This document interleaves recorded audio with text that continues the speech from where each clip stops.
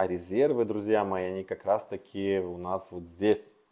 И резервов там очень много. И все уже развитые европейские страны, они уже давно это поняли.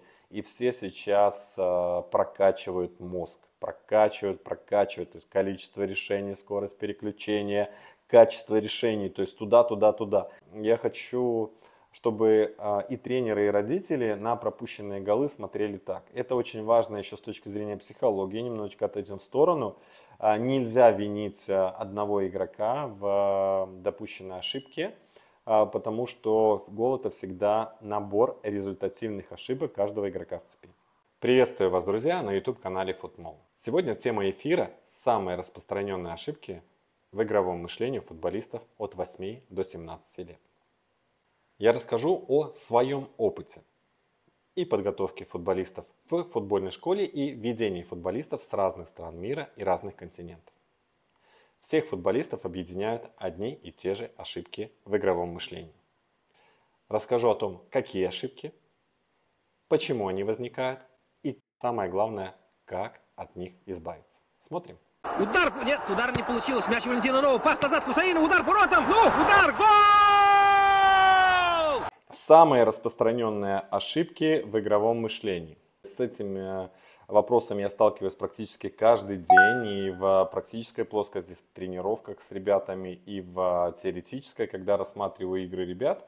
Вот, и по большому счету уже, наверное, я около года, я каждый день занимаюсь этими ошибками, ошибками, ошибками, и пришло время а, просто их сформировать, систематизировать, объяснить суть причины и в конце концов дать решение, каким образом можно а, влиять на а, развитие игрового мышления. Всегда мы с вами говорим о том, что развитие футболистов идет в трех основных проекциях. Это развитие футболиста с точки зрения качеств тела, с точки зрения качеств интеллекта и с точки зрения психологии. То есть, видите, три уровня. Я недавно увидел э, у такого замечательного, очень известного и уважаемого мною тренера Арсена Венгера. У него есть такой домик, вот, по сути, он его тоже изобразил в виде базового, то есть уровня это качество тела, потом следующий этаж настройка это качество интеллекта, и следующий этаж уже крыша это психология. И очень важно именно в какой последовательности он изобразил эти качества. Идем по порядку. Значит, первый уровень это у нас э, футбольные качества тела. Что же это такое? Это физические качества, это техника, то есть это по сути инструменты, которые нужны для игры. То есть физические качества это прежде всего координация, быстрота, э, сила, ловкость э, и так далее. Технические качества это все, что можно делать с мячом. Ведение, дриблинг, прием передача, отбор мяча, финты а, удары, удары головой в том числе. Окей, значит, инструменты у нас есть. То есть, получается, мы учим, учим, учим, развиваем качества а, физические и технические. А, следующий уровень – это интеллект. Что такое интеллект? Это как лучше использовать свои физические качества и технику с пользой для игры. То есть, по сути, понимаете, очень много ребят, очень много футболистов с выдающимися физическими качествами. Но когда начинается игра, на поле выделяются только те, кто эти свои качества использует э, эффективно, использует для игры. И наоборот, те ребята, которые обладают физическими и техническими качествами и не понимают игры, на поле они теряются. А, и третий вариант это ребята, которые а, обладают э, не очень развитыми качествами э, физическими и техническими, и они тоже начинают на поле выделяться и иногда даже играют лучше, чем ребята, которые более оснащены. А почему же так происходит? Ну, давайте по порядку. Значит, э, что значит понимать игру и что значит э, использовать свои качества с пользой для игры? То есть у игры есть простая цель. Все, кто выходит играть, дети, взрослые, все мыслят одинаково, цель игры это выиграть.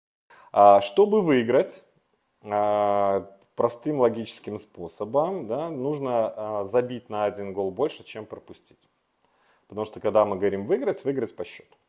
Значит, идем дальше. Если мы посмотрим на игру в футбол, то игра в футбол состоит из четырех последовательных фаз, которые по очереди сменяют друг друга.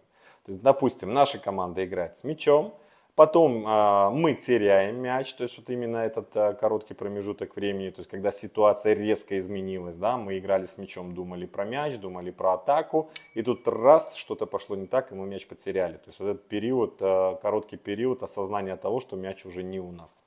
А следующая фаза это игра без мяча, когда мяч у команды соперников. И э, последняя фаза это отбор мяча, когда мы отбираем мяч и уже игра изменилась, мяч был не у нас, стал резко у нас. И опять-таки идет осознание того, что э, мяч перешел к другой команде. Видите, и эти фазы, они последовательно в игре сменяют друг друга. Кроме этого, у самой игры есть правила времени и пространства. Да? Это очень просто. Э, нужно для того, чтобы забить гол с точки зрения времени и пространства игры, э, есть одна простая формула. Нужно за минимальное время э, пройти как можно ближе к воротам соперника. И кто делает это быстрее и по кратчайшей траектории к центру ворот, тот и имеет в игре преимущество. Видите, то есть с одной стороны есть фаза игры, с другой стороны есть правила времени и пространства. А теперь переходим к каждой из фаз отдельно. Вот игра с мячом. Это самая такая любимая мною и это самая развивающая фаза игры, потому что игра с мячом это касание, это технико-тактические действия, а соответственно это развитие. И в общем-то дети, все дети любят играть с мячом. Это еще вопрос такой психологической э, удовлетворенности от игры. А, цель этой фазы – забить гол. А, что такое гол? Гол – это, по сути, а, если мы чуть шире посмотрим на гол, уберем эмоции и посмотрим с точки зрения рациональной части, то это передача мяча от игроку, от игрока к игроку по цепи, где последний в этой цепи завершает э, ударом и забивает гол. Соответственно, если никто не ошибся, то мы забиваем гол. Если э, кто-то один из, в этой цепи допустил ошибку, то идет потеря мяча, и мяч становится у соперника. Видите, если бы, по сути, э, это было бы так просто не ошибаться и так просто совершать верные действия с точки зрения игры, то у нас бы в игре было очень много голов. Но игра длится длительное время, голов не так много. Соответственно, это говорит о том, что кто-то в цепи э, постоянно, кто-то из игроков ошибается. Соответственно, нужно начинать все сначала. Теперь, э, что же важно для каждого игрока вот в этой цепи, когда мы владеем мячом с целью забить мяч в ворота соперника? Первое. Э, на самом деле, видите, все просто. Вот если эту игру в футбол, ее упростить вот до сухого остатка, то по сути, когда мы играем с мячом, э, для каждого игрока важно для начала выбрать позицию до приема, принять мяч. Не, я говорю сейчас не про технический элемент, а принять мяч с точки зрения игры. Сейчас расскажу про подробнее. И когда игрок с мячом, выбрать решение, одно из трех решений сделать дриблинг, сделать передачу, либо нанести удар по воротам. Всегда у игрока с мячом есть только три решения. Дриблинг, пас, удар.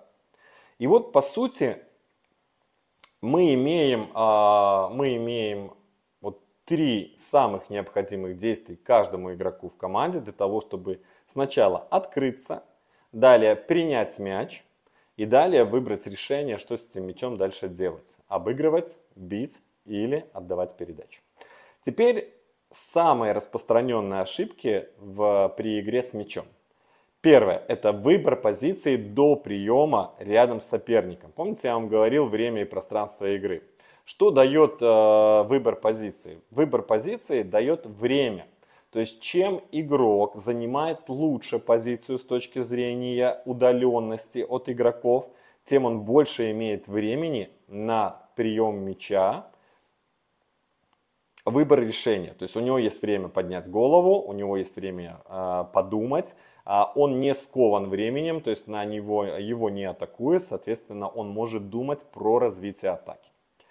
Э, как правило, дети, которые этого не понимают, они занимают позицию рядом с соперником, соответственно, что происходит, когда им э, приходит мяч? Все очень просто, соперник сразу же вступает в отбор с целью мяч отобрать, ребенок не видит продолжение атаки вперед, он не думает про то, как играть вперед, он думает конкретно сейчас в моменте э, о задаче, как сохранить мяч. Все, видите, мысли играть вперед нету, э, идет зацикленность на сохранении мяча, на его контроле, соответственно, атака по цепи вперед не продвигается. А что нужно для этого делать? Все очень просто. Нужно занимать позицию равноудаленную от всех соперников. Что для этого нужно делать? Э, крутить головой по сторонам, оценивать, сканировать окружающую игру, обстановку. В игре постоянно меняется обстановка. Вот этот навык, который формируется, а, вращать головой да, и смотреть, что происходит вокруг. Э, это очень ценный навык. А, вот. Особенно это касается игроков, которые от природы не очень быстрые, а очень умные. Потому что за счет выбора позиции и скорости принятия решения на футболе очень часто и эффективно компенсируется недостаток естественной природной физической быстроты. Идем дальше. А, следующая самая распространенная ошибка при игре с мячом это прием мяча спиной к воротам соперника. И, соответственно, игра назад. Здесь тоже все очень просто. Если э, футболист не понимает, что при приеме мяча нужно видеть ворота соперников, то, естественно, он не будет играть вперед. А, почему? Потому что футболист играет всегда туда, куда смотрят его глаза. Это основной канал получения информации на футбольном поле через э, глаза соответственно, зрительный канал. Соответственно, если игрок не видит вперед, он не видит ворот соперника в цели, он не видит партнеров впереди, он будет играть либо назад, либо поперек. Либо он будет на месте разворачивать свой а, корпус для того, чтобы увидеть вперед. Мяч будет не продвигаться, и тогда уже здесь нарушается правило времени и пространства игры, когда мяч а, не двигается, игрок на месте с мячом разворачивается. Что происходит за это время? А за это время игроки соперников успевают вернуться назад и уже а, забить гол сложнее, потому что просто количественно игроков впереди больше. Плюс игрок сам себя ограничивает потом во времени принятия решения, потому что когда он разворачивается с мячом на месте, а, соперники в этот момент бегут к нему для того, чтобы отобрать мяч и лишают его самого главного – времени. Окей. Следующая самая распространенная ошибка уже на следующей фазе, когда нужно принимать решение, это ошибка а, в самом решении. То есть игрок а, выбрал позицию, игрок принял мяч а, вперед, игрок видит все варианты развития событий, и дальше ему надо сделать выбор. А, что лучше, обыграть, отдать передачу или ударить?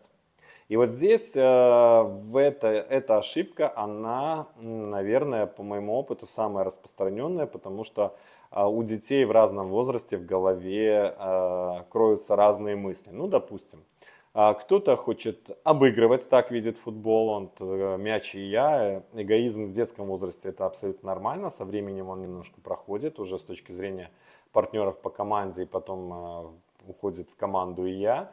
То есть э, кто-то хочет забить, и тогда ему все равно, если партнеры в лучшей позиции. А кто-то не может обыграть, и он отдает только передачи, хотя в этой ситуации, допустим, можно было обыграть, понимаете? Получается, что есть определенный алгоритм, Алгоритм очень рациональный с точки зрения цели атаки. Это забить гол. Соответственно, забить гол это значит э, первое решение, которое самое эффективное с точки зрения достижения цели, это удар. А если удар невозможен далеко, мяч не по центру, либо есть партнеры э, впереди. Следующее по приоритету решение это передача вперед, а, потому что передача мяч летит быстрее самого быстрого игрока на планете, поэтому время и пространство игры, раз мяч быстрее, значит передача более эффективна. Ну и, соответственно, остается у нас третье по эффективности решения дриблинг. Дриблинг используется тогда методом исключения, когда невозможно ударить, невозможно отдать передачу.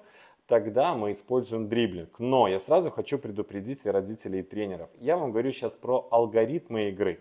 А есть еще возрастные этапы развития. Если сейчас вы можете меня не совсем верно толковать, я не говорю о том, что нужно отдавать передачу. Есть еще возрастной период, 5-7 а, лет, 8-10 лет, когда футболисты мыслят категориями «я» и «мяч». И в этом возрасте мы можем на вот эти алгоритмы а, посмотреть не так внимательно, а, скажем так, опустить их, Почему? Потому что ребенку очень важно совершать много-много-много дриблинга, потому что это как раз тот возраст, когда формируется основной ключевой навык футбольной игра один в один.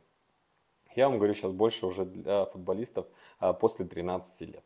Соответственно, есть определенные алгоритмы, и футболист, когда понимает это, и если он понимает конечную цель забить гол, он понимает, что голы забиваются с помощью партнеров, и он понимает, что если есть партнеры впереди, он будет искать партнеров впереди. Если есть возможность ударить, он возьмет на себя ответственность, ударит. Если нет партнера впереди в лучшей позиции, а если он не может сделать ни того, ни другого, то он будет использовать дриблинг для того, чтобы улучшить позицию и из одного решения оставшегося опять улучшить э, ситуацию до трех когда он может вернуться в игру, и у него опять будет решение ударить, либо отдать передачу, либо в конце концов опять использовать дриблинг.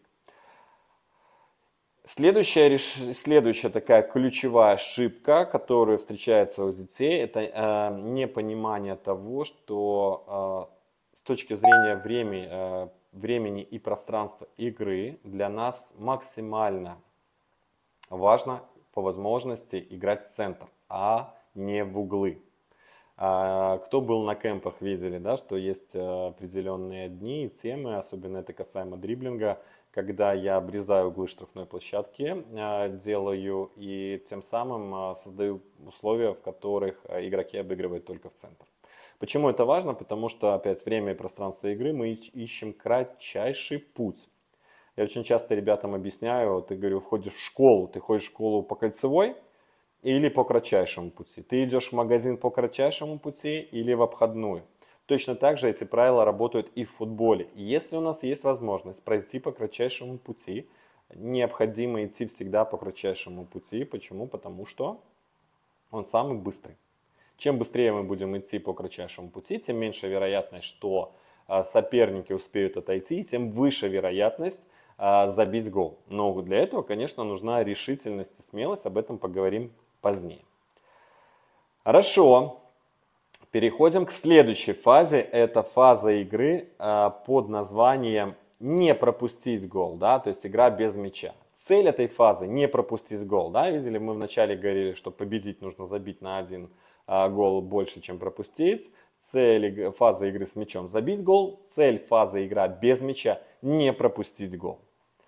Э, что важно? А, понимать, что такое пропущенный гол, опять-таки с точки зрения отношений командных да, и с точки зрения команды. Это ошибка каждого игрока в цепи. То есть каждый игрок, начиная от нападающего, который, допустим, не, не отобрал, а, полузащитник, который неверно выбрал позицию, дал мячу пройти через центр – допустим, опорного полузащитника, который проиграл единоборство один в один, защитников, которые также проиграли единоборство, вратаря, который не выручил. Да? И получается, что за пропущенный гол это ошибка каждого игрока в цепи. И если кто-то один совершает верное действие, когда мы играем без мяча, гола не будет. Отобрал, подстраховал, выбрал позицию и так далее. Если мы все ошибаемся по цепочке, значит гол будет. И здесь э, я хочу, чтобы э, и тренеры, и родители на пропущенные голы смотрели так. Это очень важно еще с точки зрения психологии. Немножечко отойдем в сторону.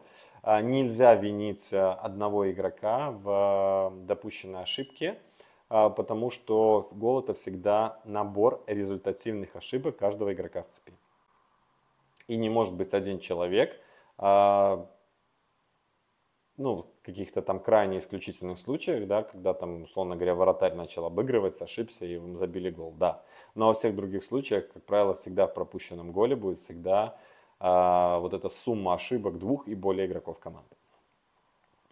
Что важно для каждого игрока э, в цепи э, при игре без мяча? Первое – это выбор позиций. Вообще я считаю, что при игре без мяча ключевой – а, интеллектуальный навык, именно навык игрового мышления, это выбор позиций. И второе, это контраргументы. Что такое контраргументы? Все очень просто. А, у соперника с мячом всегда есть три решения. Это дриблинг, пас, удар. У игрока без мяча есть всегда на каждый аргумент соперника свой аргумент. Дриблинг это отбор мяча уже как технический элемент. А передача это перехват. При ударе это блокировка удара. А, теперь самые распространенные ошибки при игре без мяча. Первое. Выбор позиций. А, очень часто я вижу, когда а, футболист закрывает только одного соперника. И а, что в этот момент происходит? Да, с одной стороны, лучше, конечно, закрывать одного соперника, чем никого не прикрывать.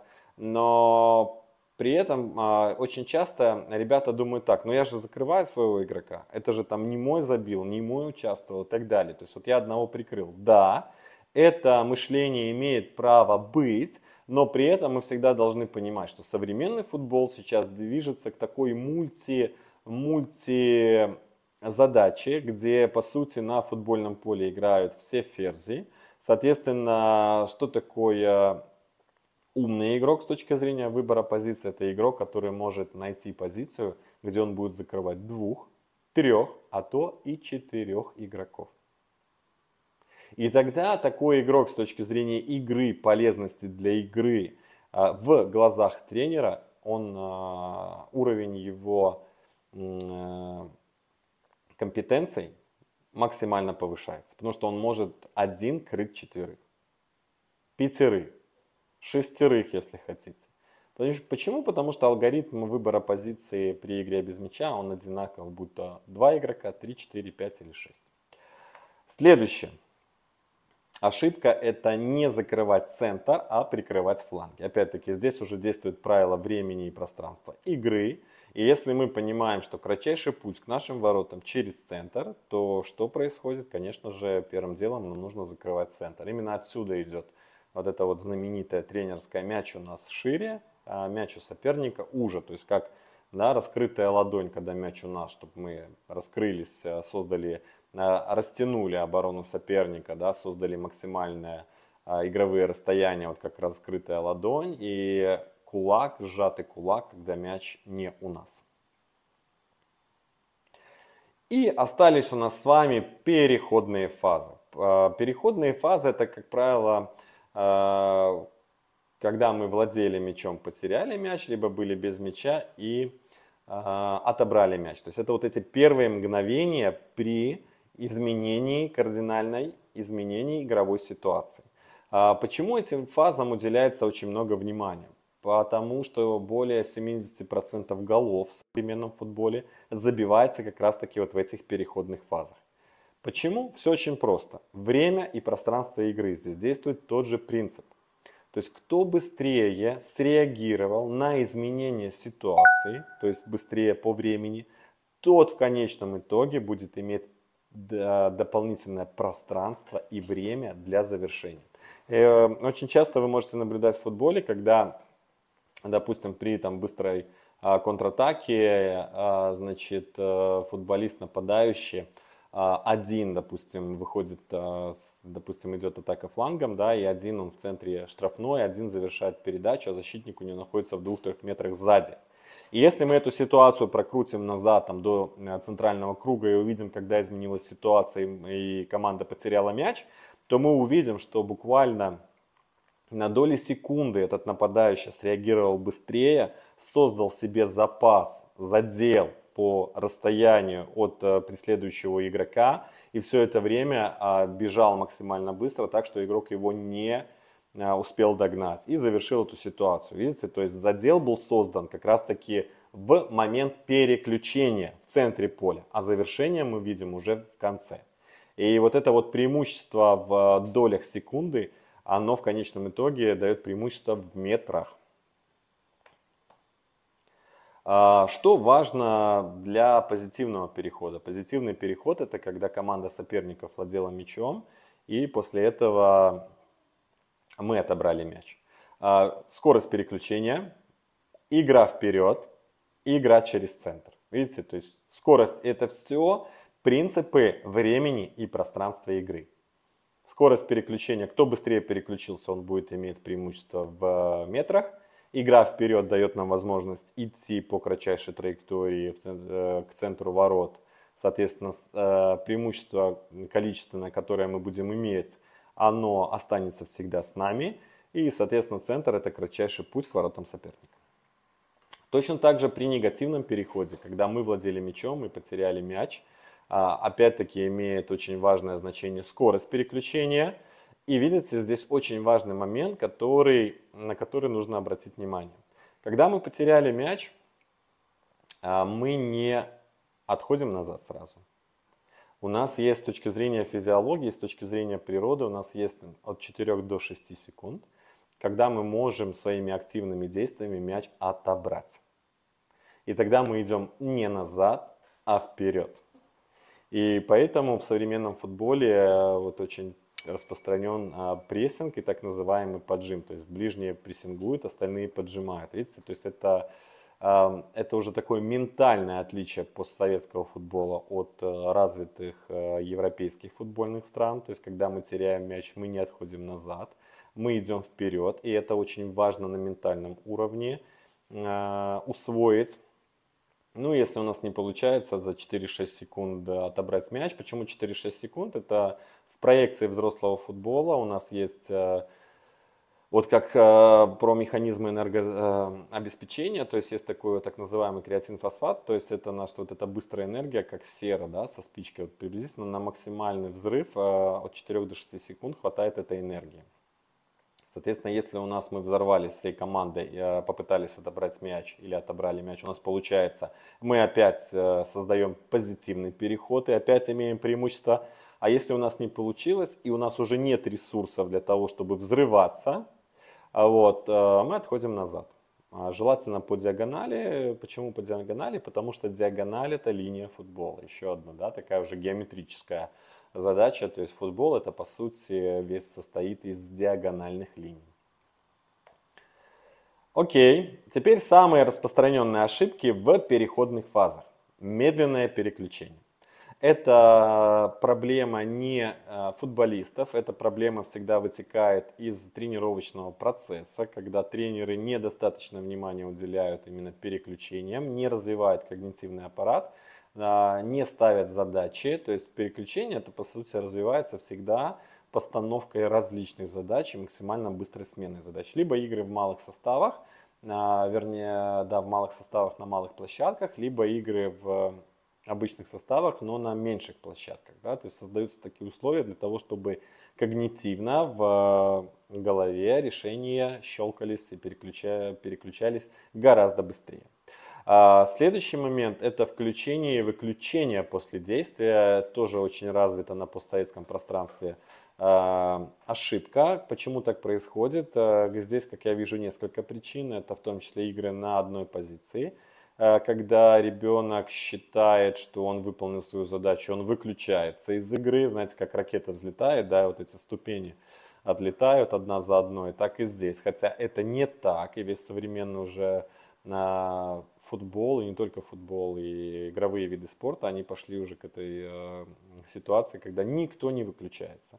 Почему? То есть, условно говоря, смотрите, э, я вот всегда Э, говорю и пришел к такому пониманию. Вот если мы говорим про качество тела, то рекорды, мировые рекорды э, в спорте, все, что касаемо достижений, э, на 99,3% уже установлены по разным статистикам плюс-минус. То есть о чем это говорит? О том, что ресурсы тела на сегодняшний день, они практически уже подошли к своему стопроцентному лимиту, стопроцентному максимуму. Соответственно, если мы говорим про тело, то по телу очень просто суть футбольной школы, академии – это поднять вот этот уровень развития физических качеств до максимально возможного уровня, вот, э, близко к этим 100%. А где же резервы? А резервы, друзья мои, они как раз таки у нас вот здесь. И резервов там очень много. И все уже развитые европейские страны, они уже давно это поняли. И все сейчас э, прокачивают мозг прокачивают, прокачивают, то есть количество решений, скорость переключения, качество решений, то есть туда, туда, туда. И я уверен, что если бы у нас был такой прибор, ну, вернее, он скоро уже, я думаю, уверен, появится, который бы измерял количество решений и эффективность решений, то сравнив игроков э, развитых футбольных стран с игроками, э, скажем так, постсоветского пространства, мы бы для себя увидели там пропасть именно в количестве решений. А что такое переход от решения к решению? Это переключение. Э, и когда мы говорим про включение и выключение после действия, это по сути есть не переход к новому решению, а выключение. Вот. Э, во многом как раз таки я связываю это с тем, что дети играют на одной и той же позиции и по сути э, мыслят игрой не в целом как игрой, а мыслят только своим вот этим узким участком и дальше не хотят включаться в игровое действие. Здесь уже могут быть еще вопросы психологии, об этом тоже поговорим чуть позже. И э, самая еще распространенная ошибка – это игра поперек или назад. То есть если ребенок не понимает, что нужно в переходной фазе играть максимально быстро вперед, когда у нас мяч, либо максимально быстро в центр вперед на отбор, а потом а, закрывать центр, когда мяч у соперника, то он не понимает игру. И тогда все то преимущество, которое мы получаем, либо могли бы получить при позитивном переходе – это все преимущество нивелируется и не несет никакой эффективности для нашей команды. А, и последнее, да, видите, вот этот уровень. То есть мы говорим сейчас про ошибки в игровом мышлении, но я хотел еще немножечко рассказать и про психологию, потому что мы начали с качеств тела как инструментов, очень много говорим с вами про игровое мышление, а есть еще психология это у Венгера, это крыша, у меня это третий уровень, то есть это вершина. То есть психология, видите, все очень просто. Это кнопка «да» либо «нет» применению в игре своих физических качеств, технических качеств и интеллектуальных. То есть это уже следующий уровень. Вот давайте посмотрим на эту кнопку «да» и «нет». От чего зависит кнопка «да» и «нет»? Все очень просто безопасно, либо небезопасно. Я не просто так все время говорю про психологию, говорю про а, радости ребенка, говорю про то, как важно, чтобы он сам решал, сам играл, сам думал, сам, сам нес ответственность, сам, да, вот эта классическая фраза «не мешайте детям играть в футбол», она очень содержит много смысла. Если для ребенка среда безопасная, а, у него работают все качества. Он в игре, он думает про игру, соответственно, у него нету, а, ведь у мозга самая главная задача это сохранить безопасность для тела, и, соответственно, мозг выключает функцию контроля, все, он погружается в игру, думает про игре и применяет свои качества. Если же небезопасно, то большая часть качеств э, выключена, и остаются только те качества, которые отвечают за безопасность. Видите, как это работает? То есть все, что мы создаем, все качества, которые мы а, через игру развиваем, если ребенку небезопасно, а, он не будет. Вот а, мне очень понравилось на одном из семинаров с родителями был такой вопрос, и очень интересно такая. Представьте себе картину. Вот сидим мы в аудитории, за окном очень красивая погода, очень красивая природа, да, но увидим ли мы эту красоту, если мы будем знать, что по коридору ходит медведь? Конечно, нет. О чем мы будем думать в этот момент? Мы будем думать о своей безопасности, и наш мозг будет включать только те качества, которые необходимы для этой безопасности. Ну что, да, бей, беги, замри. А, скорее всего, мы будем убегать, и, скорее всего, нам нужно будет там на супер уровне понадобится там быстрота, а, та же скорость реакции. Мы ничего не увидим. Также и в игре дети, которым небезопасно, у них тоннельное зрение. То есть у них и тоннельное мышление. Есть они не думают про то, как развивать, их негативное мышление думает о том, как сохранить безопасность. Вот, э, и, соответственно, там нет никакого ни креатива, ни творчества, ни позитива, ни понимания игры, там вопрос э, выживания. И э, самая такая топ психологическая проблема, которая, ну, прямо, вот прямо, прямо у меня один из э, роликов в ТикТоке со страхом ошибиться набрал почти миллион просмотров. Представляете? Вот вам, э, вот вам э, обратная связь на распространенность этой проблемы. Миллион. Вот, соответственно, есть страх ошибиться. Перед кем? Этот страх может возникать. Перед тренерами, перед родителями, перед партнерами. То есть всегда, когда у ребенка есть страх, за этим страхом стоит некий персонаж, некая фигура, которая является вот таким агрессором, то есть источником этого страха. Этот страх можно увидеть на футбольном поле одним простым э, способом. А, после того, как ребенок ошибся или попал в ситуацию, посмотрите, на кого он смотрит. Он всегда будет смотреть на человека, который осуществлять насилие. Вот. Если этот страх перед тренерами, значит, э, он будет и перед партнерами, потому что тренеры, особенно уже в такой подростковом возрасте после 11 лет, они создают вот эту среду, они э, создают правила игры, и всегда, когда в том числе там, я говорю про буллинг, э, слышу про буллинг, и всегда буллинг это э, по, создается по лекалам взрослого. Всегда взрослый тренер э, решает, да, то есть он устанавливает эти правила, в результате которых этот буллинг в том числе и происходит. Поэтому это одна история, бывает страх перед родителями, это уже другая история. Что важно понимать? Здесь очень важно всегда понимать нам всем с вами. Вот очень э, часто мы смотрим детский футбол глазами как взрослый футбол. Во взрослом футболе, да, понятно, выиграть, забить гол, выиграть, победить любой ценой. В детском футболе другая история. То есть результатом взрослого футбола является счет, а результатом детского футбола является индивидуальное развитие каждого игрока в команде. Как же происходит развитие? Только через ошибки. Только через ошибки происходит развитие. Соответственно, чем больше действий, тем больше развития. И, да, больше ошибок. А возвращаемся назад, кнопка «да», «нет». Если небезопасно, что происходит с футболистом? Да, он начинает совершать меньше действий. Для чего? Чтобы совершить меньше ошибок. Потому что чем меньше он ошибок совершит, тем меньше наказание он понесет. Видите, как все просто.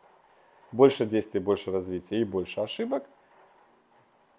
Меньше действий, меньше развития, чтобы не быть наказанным. Я вам рассказал сейчас про ос, э, про основу, так э, для, для понимания. Я также э, сделал уроки для юных футболистов, курс «Основа с основ», где по сути 6 основных тем самых важных. А, четыре темы игра с мячом, одна тема игра без мяча и одна тема психология, как победить страх ошибиться. По сути, создал 6 ключевых уроков для футболистов по развитию игрового мышления и игрового психологического состояния. Поэтому и назвал этот курс «Основа основ». И а, также по тому, как обращаются коллеги, тренеры, я вижу, что для многих тренеров этот курс также имеет а, ценность, потому что одно дело понимать, а другое дело объяснить простыми словами ребенку, как действовать в той или иной ситуации на понятном и простом для ребенка языке.